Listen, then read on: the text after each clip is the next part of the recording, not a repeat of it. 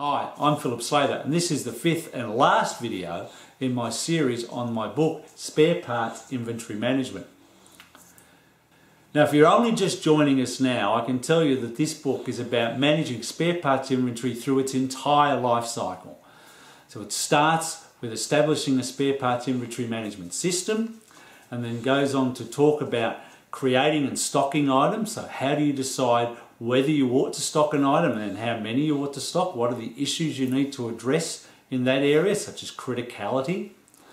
Then it talks about the operational phase of spare parts inventory management, which is all those things you need to do as part of the ongoing management of your inventory. So everything from optimization to managing your storeroom to barcoding to integrating with maintenance to procurement issues, it covers all of that.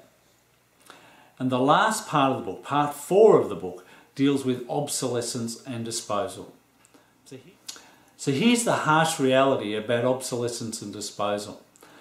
At some point in time, the spare parts that you're holding will become obsolete. It's just a given because maybe a newer, better model comes out. Maybe the vendor stops selling that particular item maybe you stop using the equipment that that spare part is used on. There are a number of ways things become obsolete. The problem is that most companies are too slow in reacting to managing for that obsolescence. So what this book does is in part four, it takes you through a process for understanding and managing obsolescence. It takes you through determining your last time buy. Now that's not an expression that many people use in spare parts inventory management.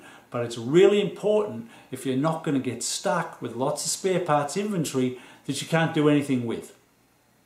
Now when you do have parts that you need to dispose of, the book then takes you through a range of disposal options and explains the pros and cons of each and what you can use in different situations.